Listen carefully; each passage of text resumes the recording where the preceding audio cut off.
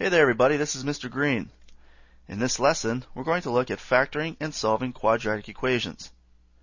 To solve a quadratic equation with factoring, you need to use the zero product property. This property says that if you have a product a times b equals 0, then either a equals 0 or b equals 0. To use this property to solve a quadratic equation, you need to do the following three things. First, you need to make sure you write the equation with a 0 as one side.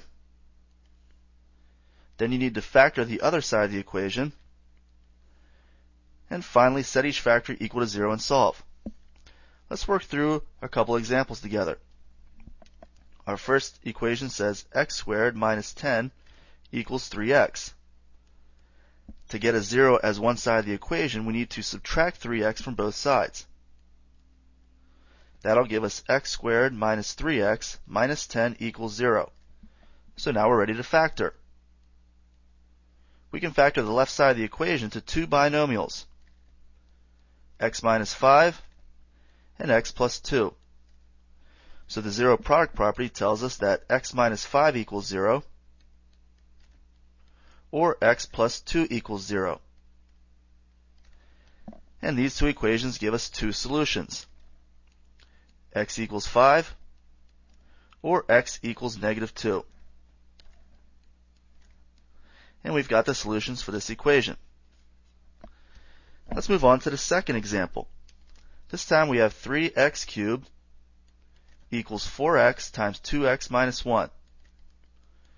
So our first step is to distribute 4x to 2x minus 1.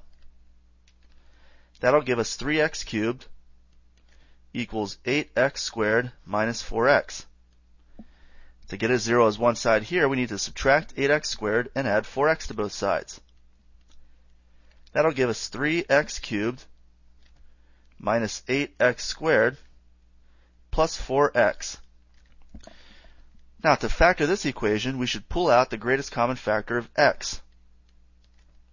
And we'll have x times 3x squared minus 8x plus 4. But we can factor this expression on the left side even more. We can break 3x squared minus 8x plus 4 into two binomials. Write what you think those two binomials are and hit the continue button to move on.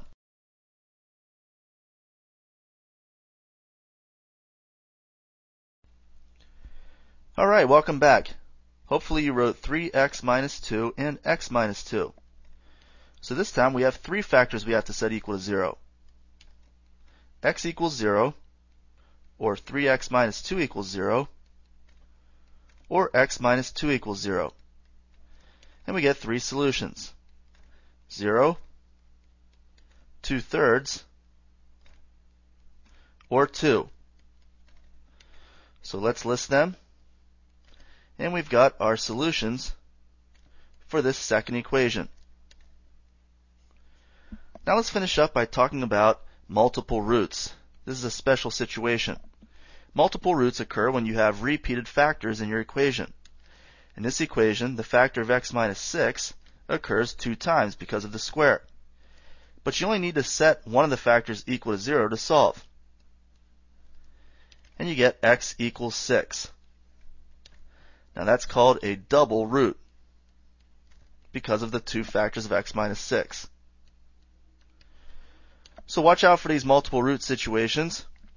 And that wraps up this lesson on solving quadratic equations with factoring. Great job and good luck on the rest of your homework. You can get more Algebra 2 help by signing up for Nutshell Math. I'll see you next time.